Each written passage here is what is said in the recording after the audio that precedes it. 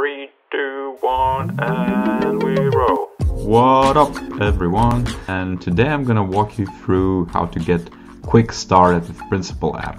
If you've seen my video where Principle and InVision Studio got compared, and I tried to kind of break it down on how to get started with one NVEver, what their advantages about it, you probably kind of bought into the idea that it might be a superior tool for motion graphics, bringing UIs to life, you know, getting stakeholder input, just making kind of like a visual porn from your UIs. I think it's really, really powerful tool.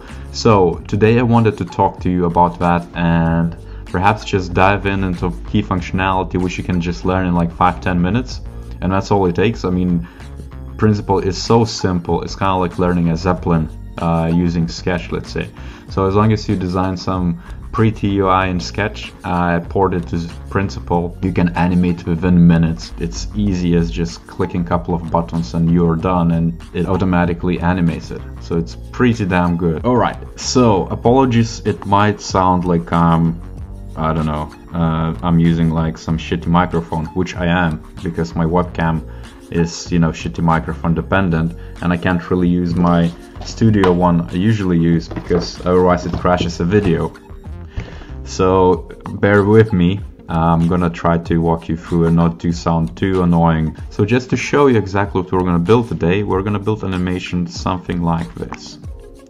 As you can see, we're gonna click on a button, button is gonna expand, we're gonna have a back animation as well, and uh, it's like a simple two-state type of animation, which is still neat because you have different items transforming, different items animating in or out. And it, otherwise, I think it's pretty good. So you know, it's it's quite impactful and it's easy to then communicate to developers and say what you want to do.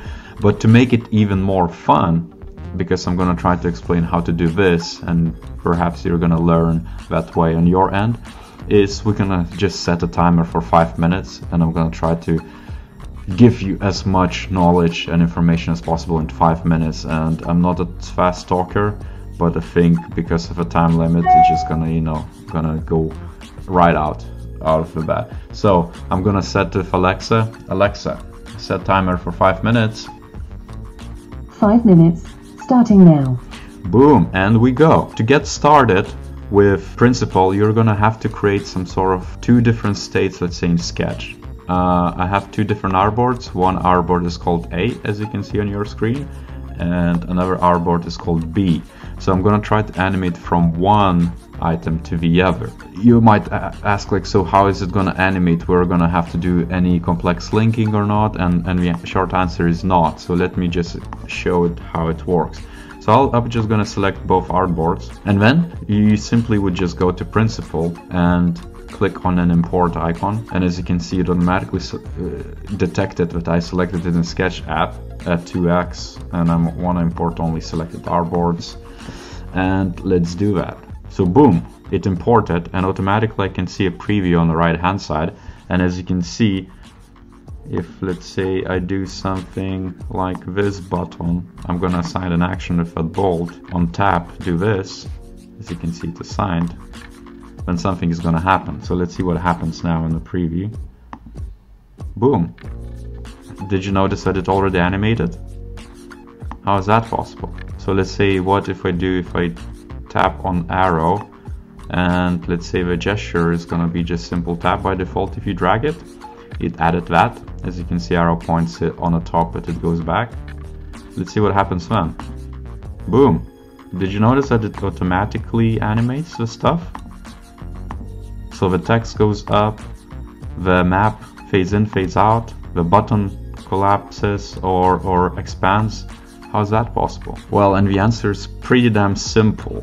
So principle, all it does, it detects two different states with some caveat to it. And just to show you an example what I mean, is every single layer here, for example, this almost here text, is called almost.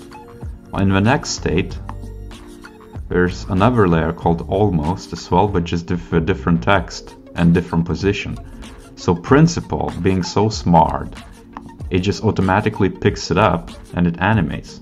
So let's preview that. You see almost there is here. and when it goes to next state it animates in different text but it also animates different position and size how cool is that and now it, it's exactly the same with other things so for example maybe you noticed if I go back that the map is not existing but when it reappears how is that happening so I have a map this one which is world map it's it already exists in a previous state as a world map but the only difference is that it's hidden. So here you see opacity is selected to zero. If I would say opacity 20, the map would be present, and if I would put it somewhere down below, I mean it doesn't look too bad, it just adds some noise. But now, if I would animate it, you see, the map fades in a little bit more and is pushed up. So that's that's all it is, really guys. Uh, that's, that's how awesome Principle is. You just have two different states you could have even more states. So let's say, for example, maybe I'm gonna create a third one. Uh, just duplicate artboard. Let's see what we can do. I might delete that. And let's say if you click on this icon, I'm gonna tap it to this.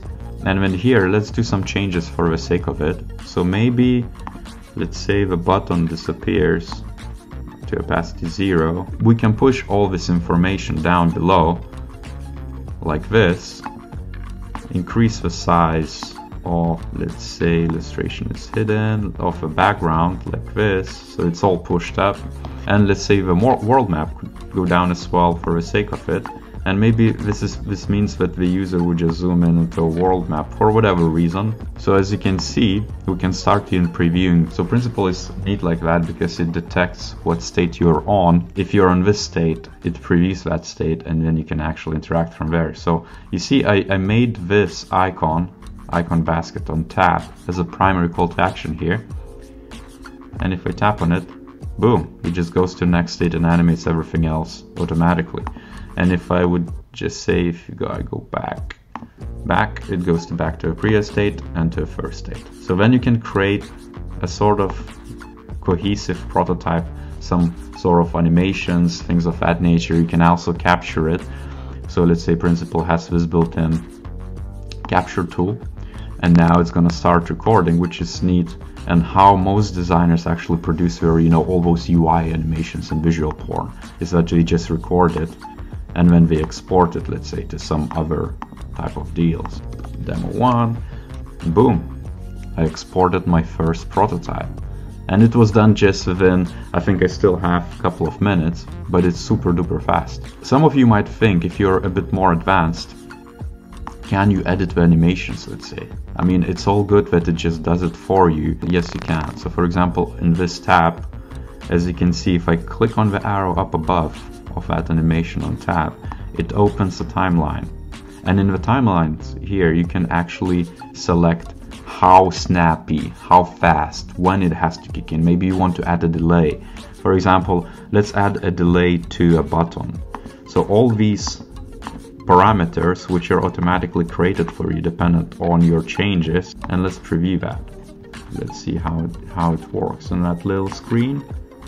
Boom. You see it took around a bit more than half a second for it to kick in. But then we can also do something like the width could be longer.